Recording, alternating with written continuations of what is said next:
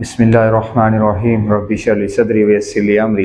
वाहलतमिलसानी यफ़ी अस्सलाम वालेकुम रहमतुल्लाहि व बरकातुहू। उम्मीद करता हूँ आप सब खैरियत से होंगे, अपने घर में खुश होंगे, महफूज होंगे। आज का टॉपिक है electric potential due to a point charge chapter number twelve class F second year S C S पहला चैप्टर हम इसका कर चैप्टर नंबर ट्वेल्व इलेक्ट्रोस्टेटिक्स उसका ही आपके पास एक टॉपिक है electric potential due to a point charge कि आपके पास अब आपने इलेक्ट्रिक पोटेंशियल फाइंड आउट करना है एक पॉइंट चार्ज के लिए, ठीक है? इससे पहले इसके कुछ टॉपिक्स हैं इलेक्ट्रिक पोटेंशियल इसमें डिस्कस किया गया पोटेंशियल डिफरेंस डिस्कस किया गया और जिसमें फर्दर आपको डिस्कशन की गई है अबाउट इलेक्ट्रिक पोटेंशियल ग्रेडियंट के। मैं शॉर्टली इसको रिव्यू दे देता हूँ कि आपके पास इलेक्ट्रिक पोटेंशियल क्या होता है। देन हम इस टॉपिक की तरफ़ आते हैं वापस। इलेक्ट्रिक पोटेंशियल पोटेंशियल बेसिकली कहते हैं कि कोई भी चीज़ या कोई बॉडी आपके पास किस तरह की एबिलिटी रखती है कोई भी थिंग जो आपके पास है ऑब्जेक्ट है, वो क्या एबिलिटी रखता है, किस, कितनी एबिलिटी रखता है that is known as potential हम कहते हैं अक्सर इस बच्चे में इतना पोटेंशियल है।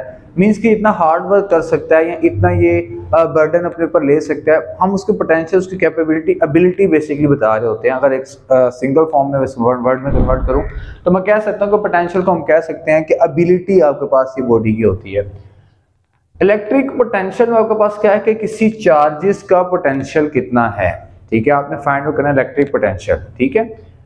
अब इलेक्ट्रिक पोटेंशियल बेसिकली क्या होता है कि आपके पास एक इलेक्ट्रिक फ़ील्ड के अंदर फॉर एग्ज़ाम्पल ये एक इलेक्ट्रिक फ़ील्ड है।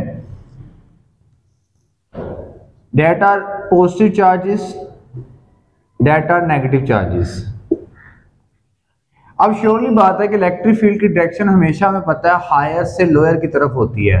हाई पोटेंशियल से लो पोटेंशियल की तरफ़ होती है आपके पास। इलेक्ट्रिक फ़ील्ड की हो या मैग्नेटिक फ़ील्ड हो या अदर फोर्स ऑफ़ ग्रेविटी हो तो हमेशा हायर पोटेंशियल से लोअर पोटेंशियल की तरफ़ जाती है। ठीक है? या ग्रेविटेशनल फ़ील्ड हो खास तौर पे तो वो भी हमारे पास हाई से लो की तरफ़ ही मूव करती है। एक जनरल फिनोमेना है कि आपके पास हमेशा जो ऑब्जेक्ट होते हैं, वो हाई से लो की तरफ़ मूव कर रहे होते हैं। ठीक है? अब आपके पास ये बॉडी हाई से लो की तरफ़ मूव कर रही है। हमें पता है कि ये चार्जेस इस तरह जो मैंने डिस्ट्रीब्यूट किए हैं हाई पोटेंशियल से लो पोटेंशियल पे है, ये इसकी इलेक्ट्रिक फ़ील्ड की डायरेक्शन है। लेकिन सपोज़ करता हूँ, मैं इसके अंदर एक चार्ज क्यू नॉट पुट कर देता हूँ, या चार्ज क्यू पुट कर देता हूँ। चार्ज पुट करने से क्या होगा कि ये चार्ज मूव होता होता इस डायरेक्शन में आएगा और इस चार्ज इस पॉइंट पर आकर रुक जाएगा। सपोज़ कर लेते हैं कि मेरे पास इस पॉइंट पे जो पोटेंशियल है that is A and this point potential B ये पोटेंशियल ए है, इस सरफेस पे इस पे पोटेंशियल बी है। चार्ज जब मैंने इलेक्ट्रिक फ़ील्ड में डिस्प्लेस किया तो चार्ज मूव करता हुआ डाउनवर्ड डायरेक्शन में नीचे की तरफ़ आ गया। ये तो एक जनरल फिनोमिना है आपके पास, एक जनरल सा हमने इसमें कॉन्सेप्ट सीखा। अगर फॉर एग्जांपल मैं ये चाहता हूँ कि मेरी जो बॉडी है इसी तरह का पॉजिटिव ये ही प्लेट है, ये नेगेटिव चार्जेस ये जो चार्ज क्यों यहाँ पे पड़ा है? जब वो इसके ऊपर इलेक्ट्रिक फ़ील्ड अप्लाई हुई इलेक्ट्रिक फ़ील्ड के अप्लाई होने से क्या हुआ?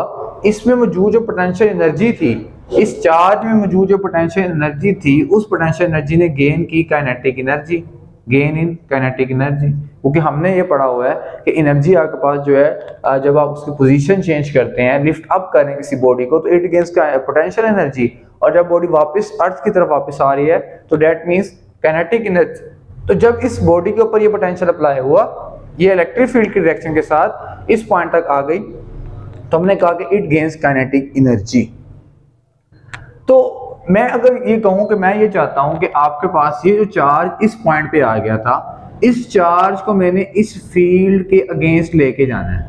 इस चार्ज को मैं कह रहा हूँ कि मैंने इस चार्ज को इस पॉइंट पे लेके जाना है। आप मतलब अगेंस्ट द फ़ील्ड वर्क करवाना है इसको मैंने। तो सबसे पहला पॉइंट इलेक्ट्रिक पोटेंशियल के इसके फार्मूला लिखेंगे। हम तो वो लिखेंगे कि potential is equal to work done out per unit charge कि एक यूनिट चार्ज के ऊपर कितना वर्क रिक्वायर्ड होता है that is known electric potential इसी तरह, जब मैं इस बॉडी को, इस ऑब्जेक्ट को, इस चार्ज को इससे अगेंस्ट मूव करना चाहूँगा तो I have to do some work done over there मुझे कुछ वर्क डन करना पड़ेगा यहाँ पे। उसके बाद कहीं जाके ये जो चार्ज जो है, इस पॉजिटिव पॉइंट की तरफ़ जाएगा पॉजिटिव प्लेट की तरफ़ जाएगा। यहाँ पे मैंने कहा था that is plate A that is plate B potential A potential B तो अगर इस वी बी की जगह मैं पुट कर दूँ V B minus V A is equal to W over Q ठीक है? यहाँ पे हमने कहा कि पोटेंशियल ए है। पोटेंशियल ए की वजह से जब ये चार्ज इसके पास आ गया तो यहाँ पे इस चार्ज का पोटेंशियल ज़ीरो हो गया। तो मेरे पास ये पोटेंशियल हो गया ज़ीरो तो मेरे पास जस्ट फॉर्मेशन क्या बच गई? V is equal to W by Q ठीक है? जब ये चार्ज इस पॉइंट पे आ गया ना तो हाई से लो की तरफ़ आगे लो पे आया तो पोटेंशियल ज़ीरो है उसका। पोटेंशियल ज़ीरो का मतलब वी ए पे पोटेंशियल ज़ीरो है। तो हमने वी ए ज़ीरो पुट किया तो इट अप्रोचेस टू ज़ीरो तो देन आपके पास एक पोटेंशियल इलेक्ट्रिक पोटेंशियल का फॉर्मूला ये आ गया। अब ये मैंने वर्क डन किया इस बॉडी को क्या करने के लिए? ऊपर लेके जाने के लिए। सेम इस तरह एग्जांपल आपके पास होती है कि जब हमारे पास घर में जो टैंकीज यूज़ होती हैं वाटर टैंक्स यूज़ होते हैं आप नल ओपन टैब ओपन करते हैं, पानी आ जाता है, लेकिन जब फिनिश खत्म हो जाता है तो हम क्या करते हैं मोटर ऑन करते हैं, ताकि पानी दोबारा रीफिल हो जाए। तो मीन्स कि हम कुछ मैकेनिकल वर्क डन कर रहे हैं, कुछ वर्क डन कर रहे होते हैं बेसिकली तो यहाँ पे भी आपने कोई वर्क डन किया तो ये चार्ज दोबारा इस पॉइंट तक चला जाएगा। तो ये इलेक्ट्रिक पोटेंशियल अगर इसका यूनिट आप देखते हैं तो इलेक्ट्रिक पोटेंशियल में वर्क का यूनिट होता है जाउल इसका कोलम तो ये आपके पास आता है unit joule per coulomb electric potential का यूनिट ठीक है? फिर इसके बाद इलेक्ट्रिक पोटेंशियल के बाद, इसके बाद जो एक और चीज़ थी इलेक्ट्रिक पोटेंशियल ग्रेडियंट वाली। इलेक्ट्रिक पोटेंशियल ग्रेडियंट क्या था, जो हम ये बात कर रहे हैं यहाँ पे, इस पॉइंट पे, कि ये जो चार्ज है अच्छा आप सपोज़ कर लेते हैं कि इन दो प्लेट्स के दरमियान जो डिस्टेंस है डेट इज़ डी डिस्टेंस क्या है इन दो प्लेट्स के दरमियान? डी है आपके पास, ठीक है। आप इस वर्क चार्ज पे जब आप वर्क डन करेंगे तो मैं इस वर्क डन को ऐसे लिखूँगा, v is equal to negative W over Q उसकी रीजन क्या है? ये नेगेटिव डब्ल्यू नेगेटिव क्यों आएगा? फ़र्स्ट ऑफ़ ऑल इसके एक जनरल रीजन अपने माइंड में रखें। जनरल रीजन ये है कि जब भी हम अगेंस्ट किसी चीज़ के जाते तो हम नेगेटिव साइन पुट करते हैं चाहे वो ग्रेविटेशनल फ़ील्ड में हम लिफ्ट अप करते थे बॉडी को तो हम कहते थे साइन शुड बी नेगेटिव इसी तरह मैं यहाँ पे भी इस इस पोटेंशियल के अगेंस्ट जा रहा हूँ। हाई से लो की तरफ़ बजाय लो से हाई की तरफ़ जा रहा हूँ तो नेगेटिव साइन पुट करूँगा। एक तो ये। इसको मैथमेटिकली अगर प्रूव करें तो कैसे प्रूव करेंगे? देखिए, आपके पास ये चार्ज की डायरेक्शन अपवर्ड को है, लेकिन इसकी ओरिजिनल डायरेक्शन किस तरफ़ को है? डाउनवर्ड को है। अगर सपोज़ करें ये चार्ज है, इस चार्ज की डायरेक्शन तो हम अपवर्ड लेके जा रहे हैं, लेकिन इसकी ओरिजिनल डायरेक्शन किस तरफ़ है? डाउनवर्ड है। तो यहाँ पे अगर वर्क डन के लिहाज से मैं लिखूं, v इक्वल इस इक्वेशन को यूज़ करूँ, इसको w equal to F dot D over Q F D cos theta अब यहाँ पे थीटा क्या है? चार्ज को आप लिफ्ट अप कर रहे हैं। चार्ज की ओरिजिनल डायरेक्शन डाउनवर्ड है तो यहाँ पे एंगल बन रहा है 180 का। तो थीटा क्या आ रहेगा? 180 डिग्री आ रहेगा। डिवाइडेड बाय क्यू जब थीटा 180 डिग्री है तो कोस 180 होता है माइनस वन तो ये आ रहेगा minus W over Q potential ठीक है? ये आपके पास इलेक्ट्रिक पोटेंशियल ग्रेडियंट का, जो उसने फॉर्म से लिखा, वो मैंने यहाँ पे लिख दिया, ठीक है? ये भी जाउल पर कूलम इसका भी यूनिट जाउल पर कूलम आपके पास आ जाएगा बेसिकली इसी के दरमियान उसने एक चीज़ को डिस्कस किया पोटेंशियल डिफरेंस को। किसको डिस्कस किया जी? क्योंकि पोटेंशियल डिफरेंस क्या चीज़ होती है, ठीक है? अब ये छोटा सा कॉन्सेप्ट मैंने रिवाइज करवा दिया, क्योंकि मैंने जाना है electric potential due to point charge के टॉपिक पे। अब नेक्स्ट डिस्कस करते हैं electric potential due to a point charge वाले टॉपिक को कि electric potential due to point charge क्या होता है। उससे पहले आपको अगर मैं ये बता दूँ कि हमारे पास, इसमें यूज़ कौन सी फॉर्मेशन होगी पोटेंशियल डिफरेंस का यूज़ होगा और इलेक्ट्रिक इंटेंसिटी के फार्मूलाज यूज़ होंगे। अब सबसे पहले समझते हैं कि electric potential due to point charge क्या है। ये एक इंपॉर्टेंट लॉन्ग क्वेश्चन है बोर्ड के पैटर्न के लिहाज से। काफ़ी बार ये क्वेश्चन बोर्ड में रिवाइज हो चुका है फिजिक्स के पेपर में। समझते हैं इसको। फॉर एग्जांपल आपके पास ये एक ओरिजिन है जहाँ पे कोई चार्ज है या कोई फ़ील्ड है। ये इसके इर्द गिर्द इलेक्ट्रिक फ़ील्ड लाइंस गुजर रही हैं। कुछ यहाँ है, कुछ यहाँ है। सपोज़ करते हैं हम इस लाइन के ऊपर कुछ पॉइंट सपोज़ करते हैं। पॉइंट ए पॉइंट इस तरह सपोज़ कर लेते हैं। लाइन शुड बी स्ट्रेट मैं कहता हूँ, मेरे पास एक पॉइंट ये है, एक पॉइंट ये है और एक पॉइंट ये है। ए बी आपने क्या करना है? आप ये चाहते हैं यहाँ पे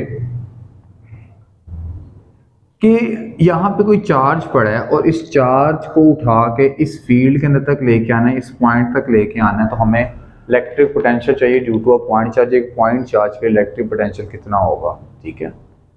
सबसे पहले इसकी कुछ चीज़ें, यहाँ से यहाँ तक का डिस्टेंस जो होगा, उसको हम लिख लेते हैं आर ए फिर यहाँ से यहाँ तक का डिस्टेंस को हम लिख लेते हैं आर बी तो अगर मैं आर ए और आर बी अगर डेल आर निकालना चाहूँ डेल आर मेरे पास क्या होगा जी? R B minus R A surely बात है। बुक में आपके पास लिखा हुआ है R B is equal to R A plus del R ये ओके फर्दर अगर मिड पॉइंट निकालूं तो मिड पॉइंट आपके पास आएगा R A plus R B over two ये मिड पॉइंट है ना इन दोनों का? तो ये आर जो है that is R A plus R B divided by two अब हमें basically electric potential find out करना है due to a point charge के लिए तो हम इसमें जो इक्वेशन यूज़ करेंगे, वो इक्वेशन क्या यूज़ करेंगे? हम यूज़ करेंगे v is equal to minus A del R कौन सी इक्वेशन यूज़ करेंगे? V is equal to minus E del R use करेंगे इक्वेशन यहाँ पे। इलेक्ट्रिक फ़ील्ड इंटेंसिटी पुट करें यहाँ पे। इलेक्ट्रिक फ़ील्ड इंटेंसिटी क्या होती थी जी one over four by E naught Q over R square negative sign एस्टिस ठीक है? Then del R H this minus one over four by E naught Q by R square del R की जगह आप put कर देंगे जी R B minus R A अब यहाँ पे आपके पास आर स्केयर की वैल्यू मौजूद नहीं है जो आपको फाइंड आउट करनी है बेसिकली इस v को पोटेंशियल को आप लिख सकते हैं V B minus V A ठीक है? ये बेसिकली आपके पास इक्वेशन लिखी हुई है पोटेंशियल डिफरेंस की. किसकी लिखी हुई है? पोटेंशियल डिफरेंस की गिवन ये बेसिक हमने यहाँ पे लिखी हुई है. ठीक है? पोटेंशियल डिफरेंस की भी लिखी हुई है और इलेक्ट्रिक फ़ील्ड इंटेंसिटी के लिहाज से मतलब हमने ये इक्वेशन इस तरह पढ़ी थी E is equal to minus del V over del D जिससे हमने कहा था, अगर स्मॉल चेंजेस होंगी तो हम इस इक्वेशन को ऐसे रीराइट करेंगे डेल आर तक। ठीक है? One over four by E naught Q by R square R B minus R और आर स्केयर की वैल्यू मेरे पास मौजूद नहीं है, जो मुझे फाइंड आउट करनी है बेसिकली अब आज स्क्वेयर की जब वैल्यू फाइंड आउट करनी है तो इस पर उसने एक चीज़ लिखी हुई है बुक में उसने, कि मैथमेटिक्स में आपके पास क्या होता है कि अर्थमेटिक मीन और ज्योमेट्रिक मीन इक्वल होता है।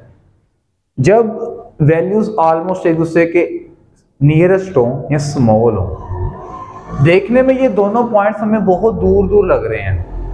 लेकिन हमने इनको बहुत जूम आउट किया हुआ है देन जाके हमें ये इतने दूर दूर नज़र आ रहे हैं। एक्चुअल में ये बहुत एक दूसरे के करीब है। आपकी बुक में यूज़ किया होगा वर्ड इन्फिनाइट कैसिमल इस तरह का वर्ड यूज़ किया होगा आपके पास।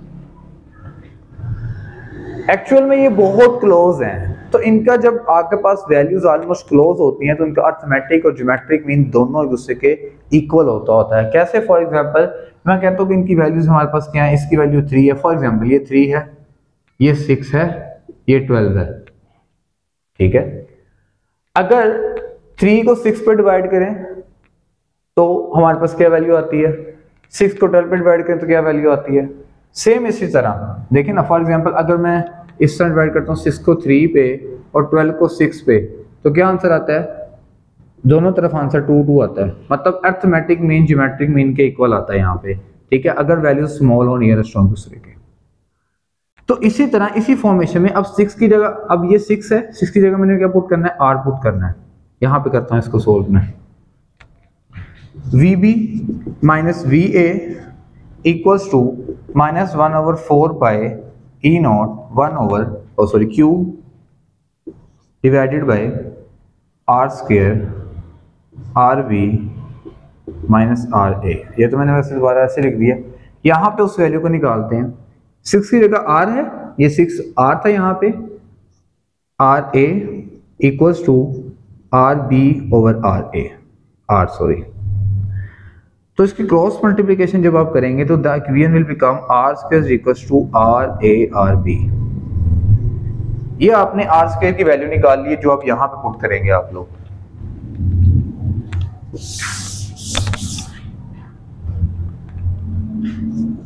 V B minus V A is equal to one over four by E naught Q by R A R B into R B minus R A ठीक है? फर्दर डेरिवेशन को यहाँ पे सोल्व कर रहा हूँ मैं। ये भी इस डेरिवेशन का पार्ट था। ये आप ना लिखिएगा बेशक, ये वाला हिस्सा, लेकिन आप ये हिस्सा ज़रूर नोट कीजिएगा। यहाँ से डेफिनेशन डेरिवेशन को आगे कंटिन्यू करते हैं. That is V B minus V A is equals to minus four pi E naught अब क्यू को इसके साथ लिख देते हैं और ये R B minus R A को डिवाइड कर देते हैं आर ए आर बी से. यह आ Q over four pi E not ठीक है? माइनस। अब ये दोनों इससे डिवाइड हो रहे हैं मतलब आर बी भी आर ए आर बी से डिवाइड हो रहा है, माइनस आर ए भी इन दोनों से डिवाइड हो रहा है। आर ए आर ए से cancel R B R B से कैंसिल ये वी बी माइनस वी एज चीज़ आ गया। तो ये आ गया V B minus V A equals to negative Q over four by E naught ये इक्वेशन मेरे पास आ गई one over R A minus one over R B ये साइन इधर जाएगा तो ये वैल्यूज़ चेंज हो जाएँगी। V A minus V B हो जाएगा, ये हो जाएगा Q over four pi E naught one over R A minus one over R B अब टॉपिक का जो बेसिक डेफिनेशन है है कि reactive potential due to a point charge find out करना है। किसी एक चार्ज पे इलेक्ट्रिक पोटेंशियल आपने सपोज़ करना है, ठीक है? अब किसी एक चार्ज पे आपने इलेक्ट्रिक पोटेंशियल सपोज़ करना है तो इट मींस आपको किसी दूसरे चार्ज को इतना दूर सपोज़ करना होगा कि उसकी जो वैल्यू है वो इन्फिनाइट पॉइंट पे पहुँच जाए और आपके पास जो उसका पोटेंशियल है वो ज़ीरो के इक्वल आ जाए। तो मैं ये सपोज़ करता हूँ कि ये जो बी था पॉइंट ये बी पॉइंट जो है, ये बहुत दूर है। तो इसका आंसर इक्वल टू किसके आ जाएगा? इन्फिनिटी के इक्वल आ जाएगा। ठीक है? मतलब कि one over R B factor जो है बेसिकली आर बी जो है, वो बहुत दूर है इन्फिनिटी पे है वो आपके पास। अगर वो इन्फिनिटी पे है तो वी बी मेरे पास क्या हो जाएगा? ज़ीरो हो जाएगा। वी बी ज़ीरो हो जाएगा तो आपके पास जनरल इक्वेशन जस्ट आ जाएगी Q over four pi E not of are ये आपके पास जनरल इक्वेशन निकल आएगी इसके सोल्यूशन के लिहाज से। ठीक है?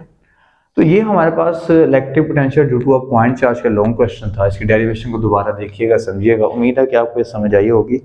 और अगर ये समझ आई है तो इसको लाइक किया करें शेयर किया करें सब्सक्राइब किया करें। मिलते हैं इंशाल्लाह नेक्स्ट वीडियो में। तब तक के लिए अपना बहुत सारा ख्याल रखिएगा। फ़ी अमान मेरा काम मुझ पे